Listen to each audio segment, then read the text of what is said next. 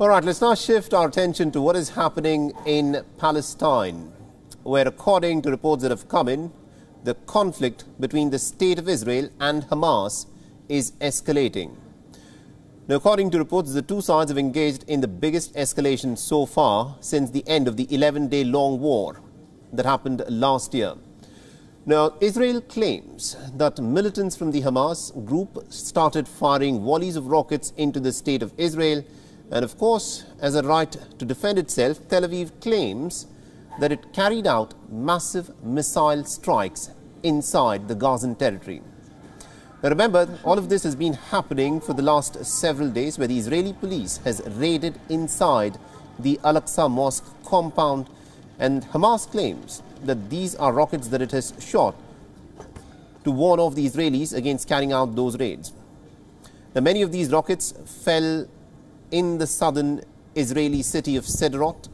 Hamas said that it had fired these surface-to-air rockets at the Israeli planes, prompting the Israelis to carry out some major missile strikes inside central Gaza. This also led to further launches of at least about four more rockets by the militants in the besieged territory.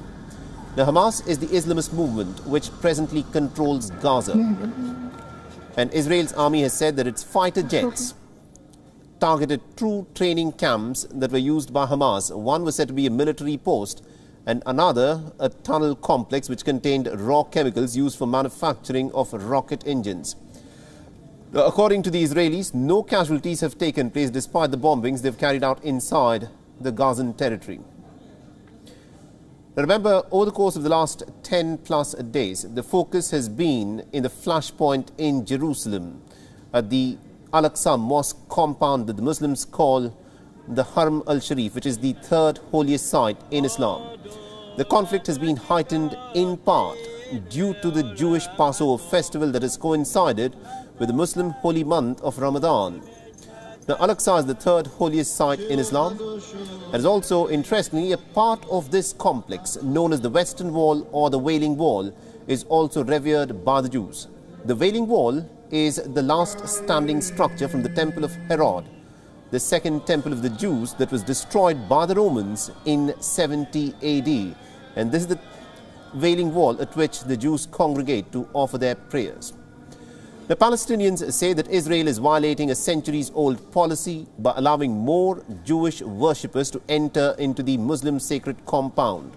According to policy, non-Muslims can actually visit the Al-Aqsa Mosque, but they're not allowed to do their prayers there. The Israeli leaders, however, say that they are ensuring freedom of worship for all religions in Jerusalem. Now, since the month of March, the Israeli forces have killed at least about 29 Palestinians in West Bank raids, while a series of deadly Arab street attacks have resulted in 14 Israelis getting killed. Now, early on Wednesday, hundreds of far-right Jewish protesters marched towards Jerusalem's Damascus Gate. The ultra-nationalist demonstrators waved the Israeli flags. Some even shouted, death to the Arabs. But the police, of course, blocked them from reaching the Damascus Gate and the old city's Muslim quarter. These are the far-right Jews who are trying to storm inside the Al-Aqsa compound and this is the reason as to why so much of strife is happening at this point of time. The far-right lawmaker Itamar Ben-Gvir led the protest after being barred from the Damascus Gate area. The Prime Minister Naftali Bennett had said earlier in a statement that he had blocked the rally for security reasons.